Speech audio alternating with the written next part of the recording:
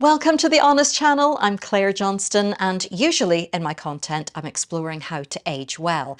And as a journalist, I try to share information professionally and impartially. So rarely do I share something that's particularly personal, but I'm going to do that today. So, around 18 months ago on this channel, I spoke to the YouTuber and personal trainer Claudia Rolnick, who has the Claudia Glows channel and who's also my friend. And she mentioned during our conversation that she had struggled in the past with anorexia. Now, I didn't say at the time, but I too had an eating disorder when I was in my 20s. And like so many people, I have wrestled and sometimes still wrestle with low self esteem and anxiety. And Claudia and I decided to share how those feelings contributed to developing an eating disorder and also our experience of living with an eating disorder. And we've recorded another conversation for Claudia's channel, which is linked below and includes even more of her story.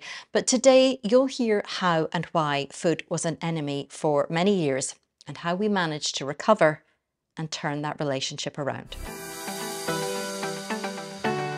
I spent some time thinking about it, thinking, you know, is this something that I want to talk about or that would be helpful to talk about?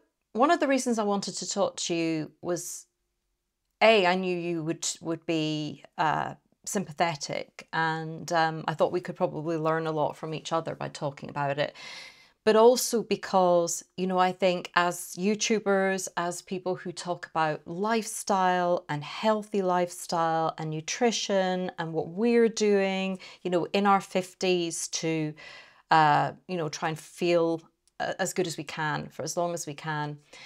I wonder sometimes if you're somebody who is, um, you know, sitting at home and not feeling great about how you're eating, which we have both been in that place knowing that we as people who sit there and you know to, to some extent some people might think we pontificate about you know do this don't do that.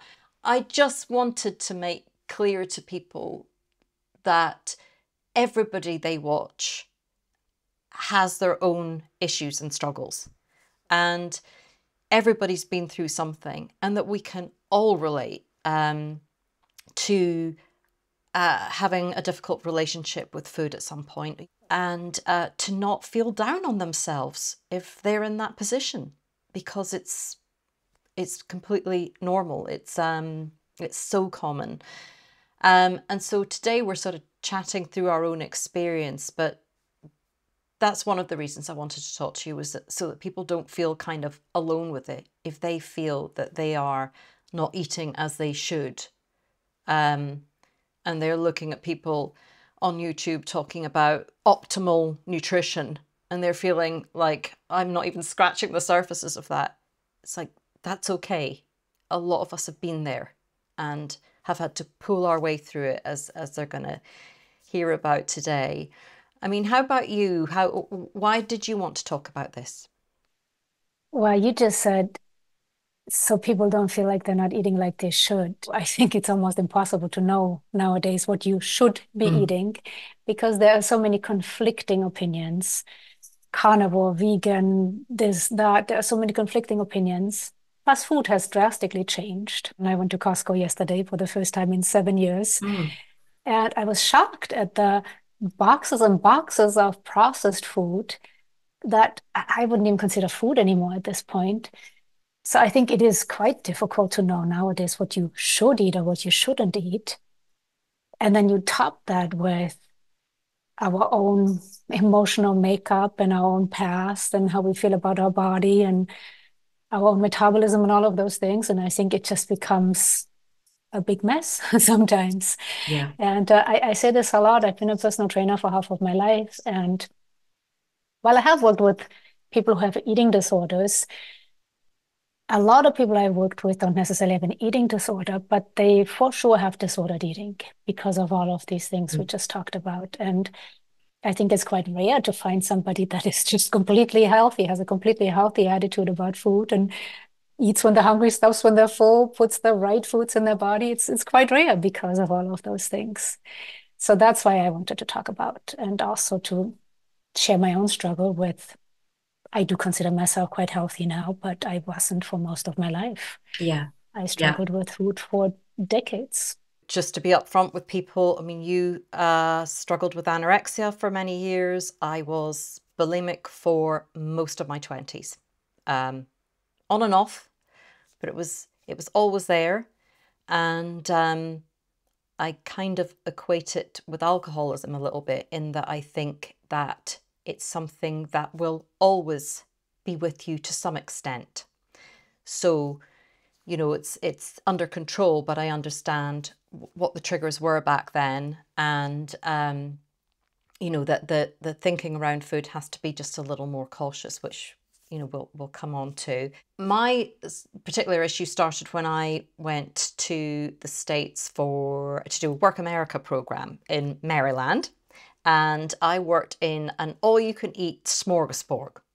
And we were offered lunch there and dinner, so we, we got most of our meals, and I had absolutely no idea about what I was eating because I'd come come across the states this naive girl from Scotland who was given these home cooked meals and we would have growing grown up eating meat and two veg on your plate. That's kind of what you got for dinner. It was either fish or it was meat and your vegetables and quite conservative eating. And so to go to America and see all these amazing foods um, and the dessert board. I mean, it was just ooh, blow my mind because I've got a, a sweet tooth and this stuff was just freely available.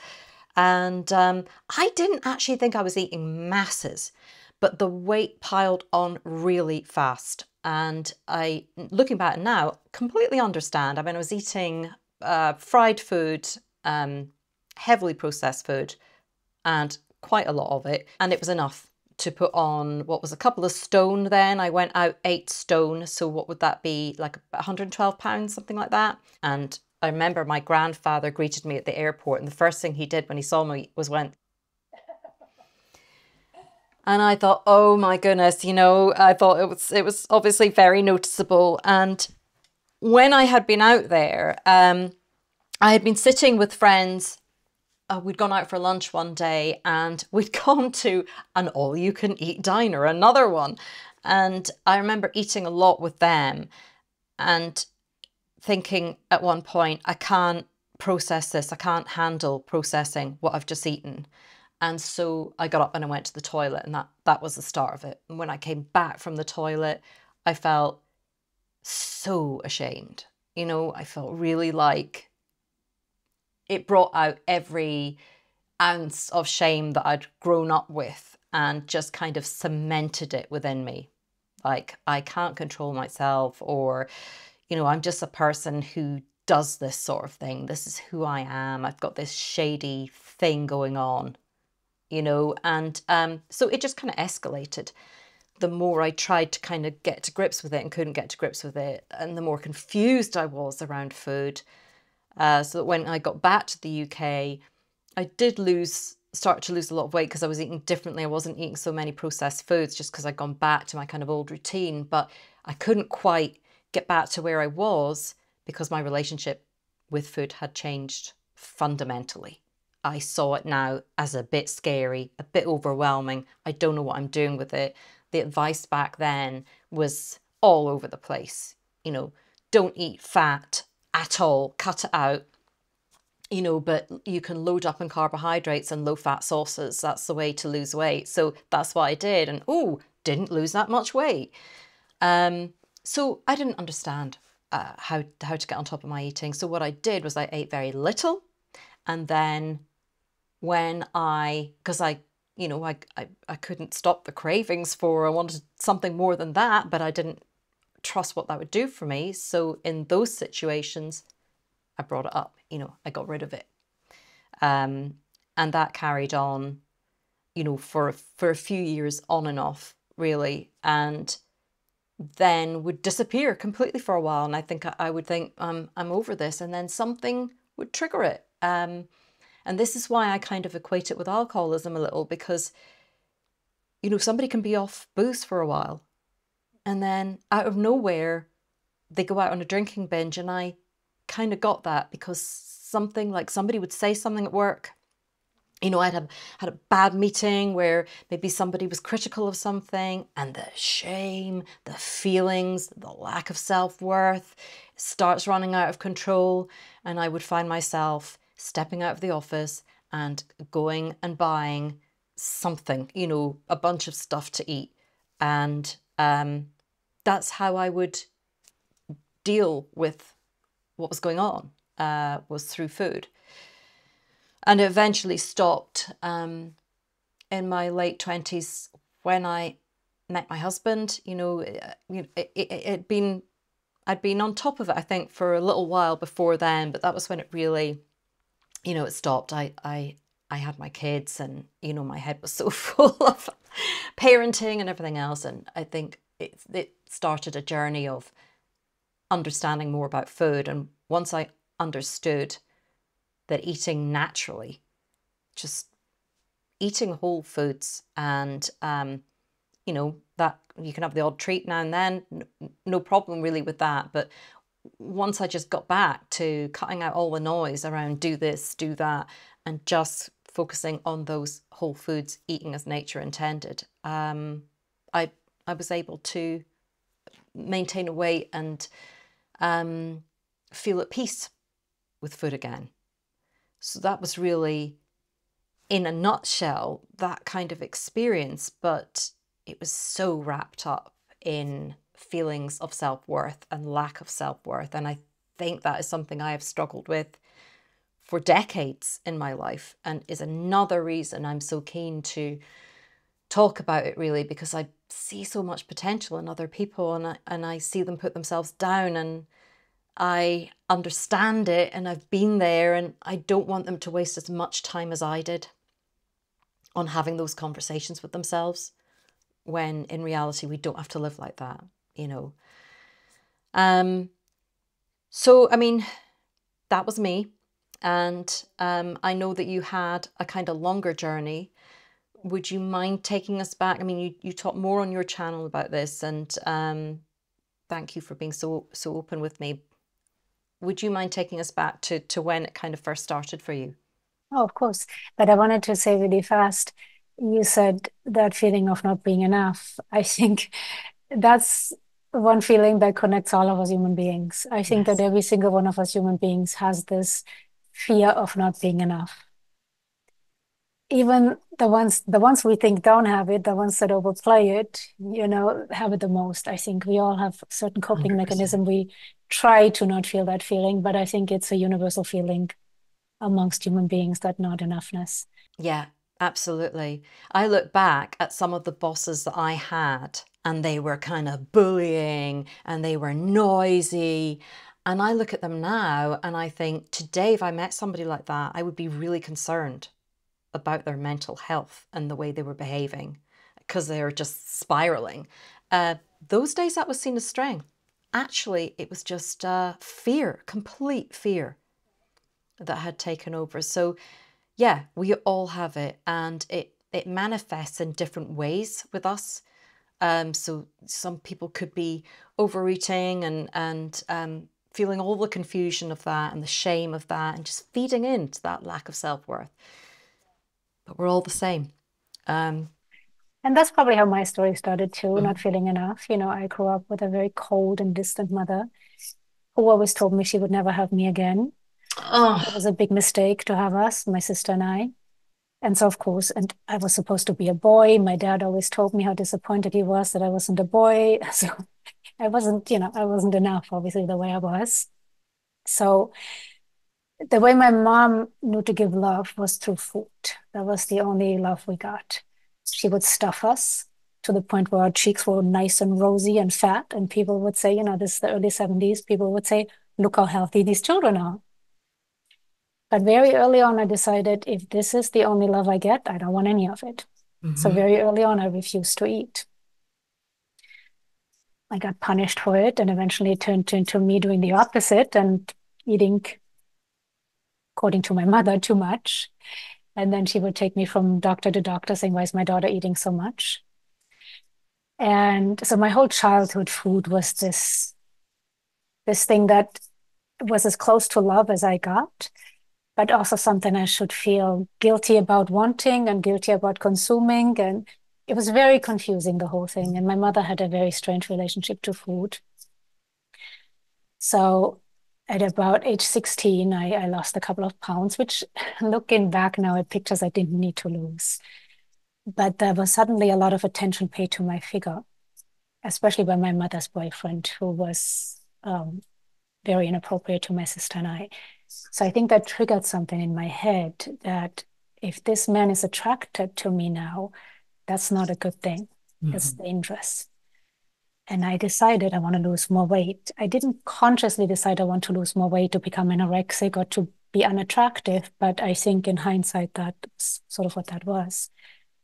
So I educated myself on calories. Back then, we thought, you know, calorie in is a calorie out. We know now that's not quite that simple, but learned about every single food, how many calories did it have in it, counted every single calorie. If I would squeeze some lemon in my water, I counted that, mm. but not as 10 calories, but as 100, just to be on the safe side. so I overestimated greatly just to be safe. Of course, I lost weight really quickly. And then at the same time, I started running.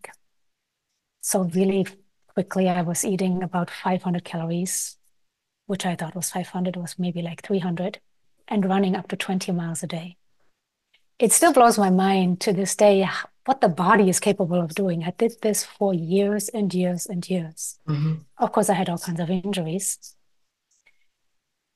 But how the body can survive, it's pretty incredible. So I then was hospitalized. My mother put me into an institution, into a psychosomatic institution. And um, I was there against my will. I was only 17, so I didn't really have any say in it. Didn't really, I, I, I sort of went along in the therapy. It was Freudian therapy. It wasn't very helpful. It was just, well, what do you think? You know, there wasn't, and what do you think as a 17 year old, you know? So I just sort of bit my time, did the same thing there, ate very little, ran every morning, snuck out sometimes twice a day, I even ran my first race in that clinic and ended up winning it. Gosh. And I got a big trophy that weighed more than I did back then. So I stayed in that clinic, clinic until I turned 18, then said I want to get out.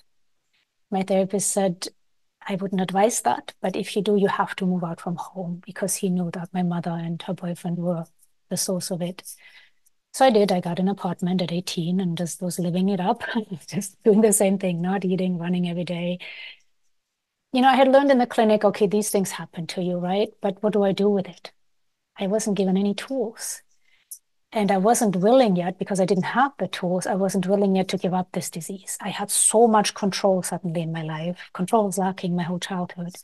Suddenly I had something that I was controlling and that I was good at, and I wasn't going to give that up. And you talked about being bulimic, and while anorexia and bulimia are both eating disorders, they're actually quite different. Mm. You know, you talked about the shame, and this sounds so arrogant now, and I'm almost ashamed to admit it. But as an anorexic, you're proud that you don't eat. You look at everybody that eats and goes, oh, "Don't need this."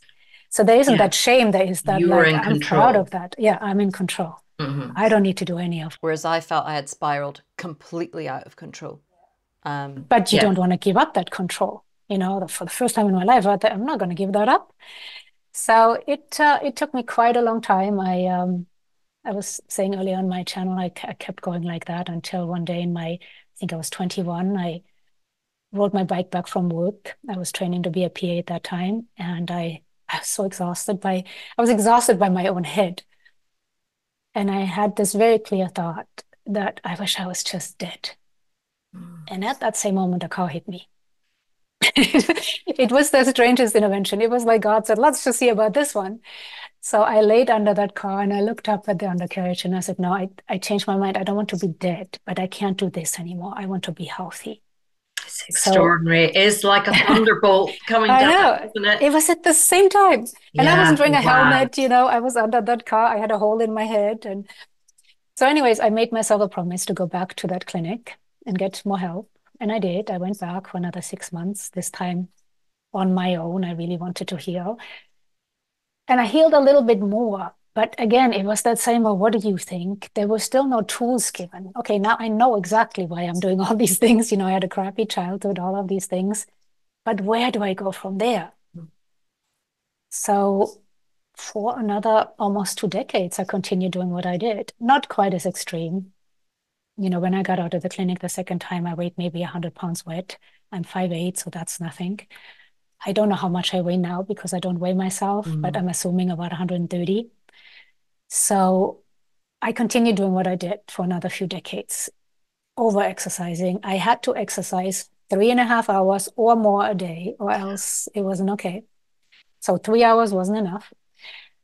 And just ate a certain amount of calories. And every calorie I ate, I, I kept track of, you know, still overestimating. And it was difficult to connect to people because my mind was constantly mm-hmm. mm-hmm. thinking about those things. I couldn't yeah. really, I had, I met some wonderful people, you know, some wonderful men, and I couldn't connect with them because nor could I love them because I wasn't loving myself, and I couldn't connect with them because my mind was just constantly thinking. There's an obsession, yeah. yeah. Mm-hmm. But if you saw me from the outside, you just thought, wow, this is a very fit driven person, you know, mm-hmm. which in the 90s, that's what you wanted to be, you know, you wanted to be this driven. And I was a really good athlete. I wasted all my talent, unfortunately. But yeah, it took me a long time to give up a little less and a, and a, a little more control and a little more control and a little more control. It took a lot of different pieces falling into place. It took more therapy. Yeah it took, and I said this earlier, as cliche as it sounds, it took really learning to love myself mm-hmm. Mm-hmm. and knowing that I'm enough. Because, like I said, I think that is the the feeling all of us have for not enough for whatever yeah. reason. And knowing that I'm enough. And the funny thing is, when I learned that, I didn't just want to be enough. That then wasn't. Then I wanted to be more than enough. There's always that overachiever mind, right? So also realizing that enough is enough. Mm-hmm. I don't have to be more than. I don't have to be skinnier than skinnier than everybody else or faster or this or that, you know. I'm enough. Yeah. So learning that the right people coming into my life and the wrong people who gave me the gift of having to relook at certain things and healing them. Getting older, you know, just caring a little less about stuff and realizing what mm-hmm. is important. So it took a lot of different pieces to fall into place. It wasn't a linear recovery. There were a lot of dips in it took a lot of pieces to fall into place. However, you were talking about triggers earlier. I'm not quite sure what my triggers were, to be honest. Mm. I think that that anorexia was just always there. It mm-hmm. was never like it was gone for a few months. There were times where it was worse and times where it was better, but it was always there. So I think the trigger was just me not feeling enough and me wanting control. I think although they are quite different, there was an element of control with me as well because if I felt I had eaten more than I was willing to process, I was afraid of what would happen if I processed, digested that food. Um, that was my way of controlling it was, you know, the cheats way, just getting rid of it. But at the same time, in my home, I was buying very little food. So my mum would come through to visit me, you know, um, I was living in a different city to her at the time, and she would open my fridge and there would be like nothing in it. So one time they came through and they tried to fill my fridge with food, and I, I was panicked, absolutely panic stricken. And it wasn't just about the fact that we were putting all that food in there and, you know, was I going to eat it? It was more the fact, it was just the, like the loss of control of I liked clean surfaces, I liked order in my fridge, just a few things it was my way of trying to settle a, cha- a chaotic mind, probably at the time of youth, of so many critical thoughts and um, so much going on in my head that I needed that order in my life. And um, and food was one of the ways. So I'd eat the same things every day. You know, I had the same sandwich for my lunch at work, and I, you know, and if it, then I tipped into something where I lost control and had something else. That was when the problem would start with me, and I would I would take the the option out. But seeing a therapist um, when I was in my mid twenties, when I was going through another bout, it would flare up, and then you know I would I would get on top of it a bit more, and then flare up again. So during a flare up, when I went to see a therapist, that was a turning point because she connected it with emotion and asked me before I had an episode like that. So when I was when it was my plan and there was no stopping it, when it was that was my plan, I was gonna do it. She asked me to think about, you know, just just try to capture what I was feeling. And, you know, it was often loneliness happened a lot when I was living on my own. Um, it was loneliness, isolation, and just total lack of self worth uh, when it really boiled down to it. Um, was not feeling good enough, had a very religious background, went to church four times on a Sunday when I was growing up. And um, we heard about sin all the time. We were just, we were sinners, you know, and it kind of put a mark on me like, yeah, that's what I am. And, uh, you know, I couldn't hang out with my friends on a Sunday. So that kind of isolated me from them. So I think it always gave me this sense of just not quite fitting in, having this, I wouldn't talk to them about church. So I always had a guilty secret and bulimia was an, just another guilty secret, just another thing to feel shameful and bad about that kind of completed the picture that was following me and, you know, I was carrying with me. Um, and I think a lot of people have that around food. It's, it's just another way to dislike themselves. It's another manifestation of them not liking themselves and thinking that they should be something different and something better. And then one of the things that helps me a lot now, actually, you know, because I think I've, I've struggled with lack of self worth through my entire life. And I listen to some of these brilliant self development coaches out there now. I mean, I listen to Ed Mylett and, you know, all of them, the, the gang, Lewis Howes, Jay Shetty, brilliant podcasters, great on self development. They are all um, vulnerable and they all talk about, you know, particularly Ed Mylett, you know, he'll talk all the time about having, still having feelings of a lack of self worth. Uh, still feeling like an imposter. I used to think it was just women because women are, are more open. And I, at work, um, I, I left my job recently to, to focus on my own content. But I, in my last job, I started something called the Imposters Club, and it was a group of women and we used to uh, meet online for a little chat because I discovered that all these brilliant women that I worked with that I admired so much felt utterly shitty about themselves and like they were waiting to be found out. I thought, what is this? And wanting to help them actually accelerated my own, um, I think, recovery from lack of self worth in a way because I looked at them and I thought, hang on, something's wrong here. You are brilliant. What do you mean you don't think you're good enough? And I felt so angry almost about that. Like, we've wasted so much potential that I thought, that's it. I'm shutting it down. I'm shutting it down. I don't care what I'm supposed to be. It's, it's enough. You know, now you and I both uh, like to think we're healthy eaters, but I think we've both kind of got a similar mindset around food now, which is not to be too hard, not to go on a diet, um, because that can that can set us up for failure if we start getting into the dieting mindset.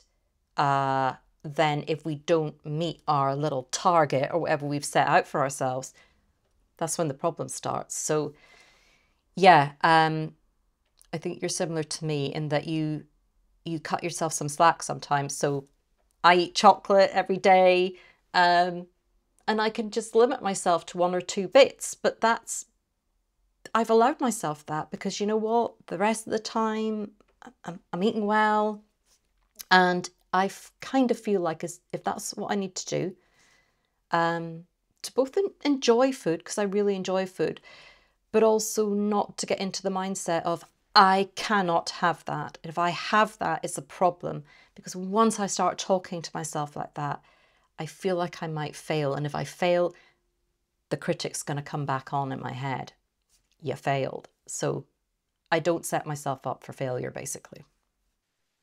You know, when I sort of recovered, right? I mean, like I said, it was a long process. When I finally realized, okay, you have to be good to yourself, you have to eat more. There were times then when I ate so much because I had this huge hole inside of me, right? Not just because I hadn't eaten in decades, but still this emotional hole that I hadn't healed. I would eat so much that I would just feel sick. I was just, I can't do that anymore now. Mm-hmm. Because now I'm really happy to say I have a healthy relationship with food. I eat chocolate every day. I have four bars of chocolate back there. I love chocolate. I eat dark chocolate. I think, mm-hmm. you know, it's rich in antioxidants. But I look at food now as nourishment. Mm-hmm. And I look at it just like if I had a really high end sports car, I would put the best gas in there. I want to do that with my body. I want to put the best nutrients in my body that are available to me right now. I look at it for the most part as this is what I'm putting in my body so that my body can do what it wants to do so that I can live life. And so now when I'm full, I'm full. It's like, this is all I need. I can't, mm-hmm. I don't have that emotional hole anymore that I have to fill.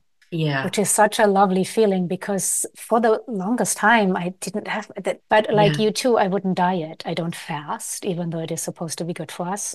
I have my own opinion on that, but supposedly it's good for us, you know, extends lifespan like you, I'm more for healthy lifespan. Mm-hmm. mm-hmm. And healthy lifespan to me doesn't just mean physically, but it also means emotionally.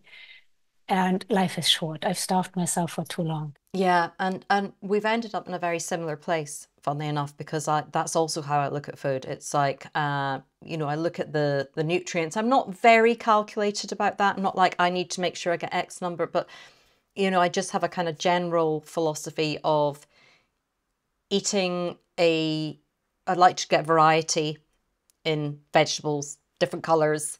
Um, you know, I think that if we get enough uh, nutrients in the day, eat a nourishing diet that's based on whole foods, it is quite incredible how your it just kind of balances. I, I wonder even if chemically in the brain, you know, has that helped?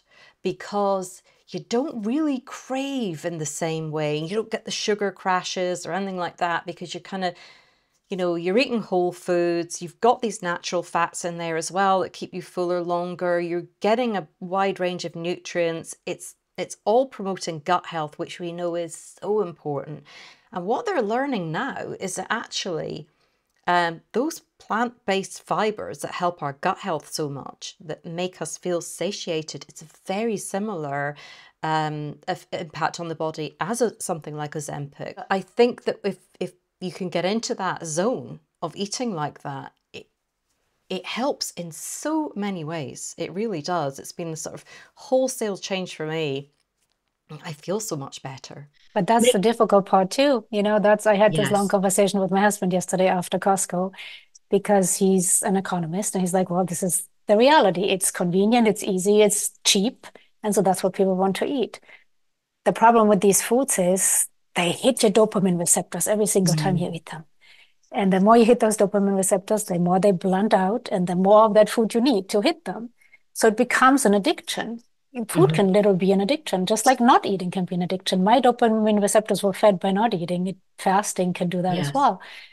So it's that, it's the not being enough, it's the confusion around food.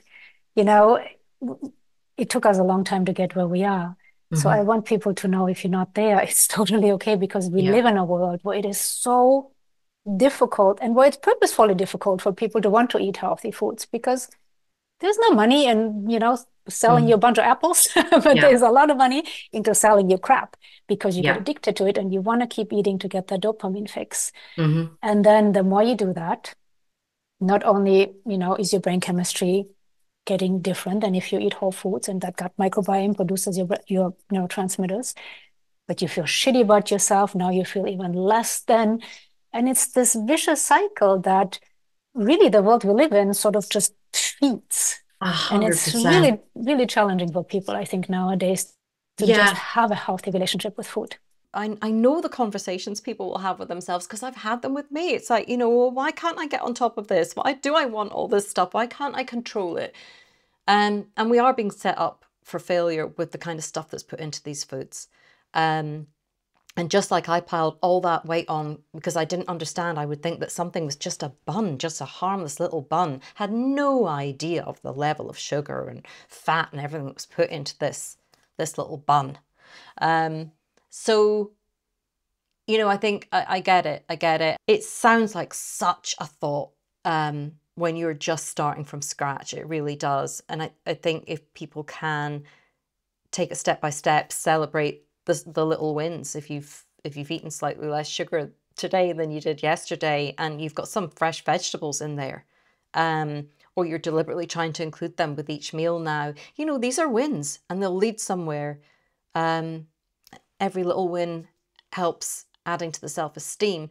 What we have to watch is where we think we've failed or fallen down, getting into that cycle of, oh, here I go again. I just can't do it, you know? Whereas um, we all have those days, we all have those feelings. You just keep going. The next one will be better. You're moving in the right direction just by trying. Exactly. And you just brought up the little bun, right? This highly processed bun. And I think that's what a lot of people also don't realize, like you didn't. They're like, but I'm just eating this little bun. I thought it was low calorie. You know, it's low, but processed food, and there are many studies on this. Processed food affects our metabolism completely different than whole foods. And they have done studies with mice where they eat the exact same calories, the exact same food, but one of it was puffed up a little bit, so it was processed. Those mice gained fat yeah. Even though they ate the same food, same calories, but it was just differently processed. And I think people eat that, they're like, what's low calorie? And then they gain weight and now they beat themselves up even more. What's wrong with me? I'm doing everything right. So there needs to be more education around food. Try to yeah. be a bit kinder to yourself. We were saying earlier, if that voice that we hear every single day was outside of us, hopefully within a few seconds we would say, shut up and get away from yes. me. But we do it to ourselves all day long. Yeah, I think you and I have a very strong self critic in us that we have learned how to shut down. You know, some days that critic in me can get a lot louder and it's harder to shut it down, but I will get there eventually.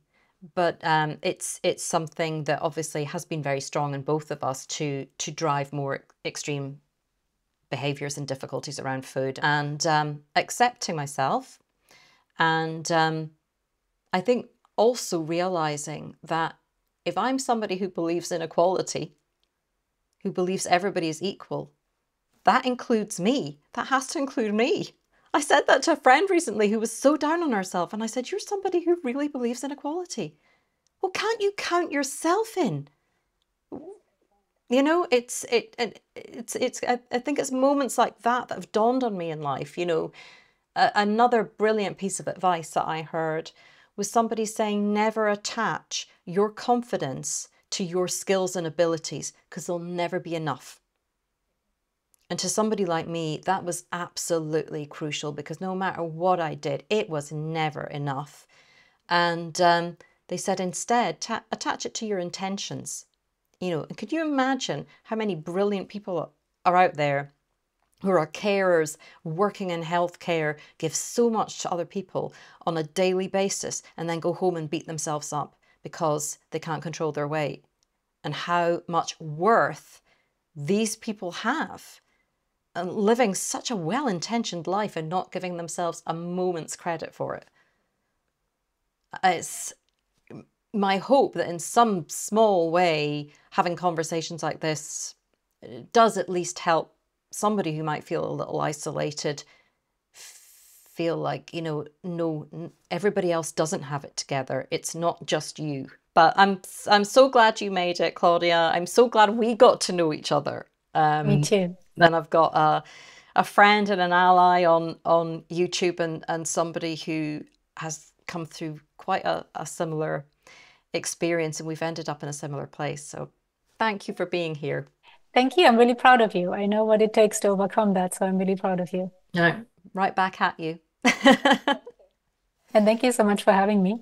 There's little point in bringing up the struggles of our past if they don't help us create a better today. So it's my hope that by hearing how Claudia and I experienced low self worth, which affects so many of us, poor body image, as well as struggles with eating, that if it's something you experience in any form, you'll be able to at least take away the awareness that it is common and it can be overcome, whether it's overeating, undereating, or something else. And there's a lot of help and support available today, and I will link in the description below to some resources.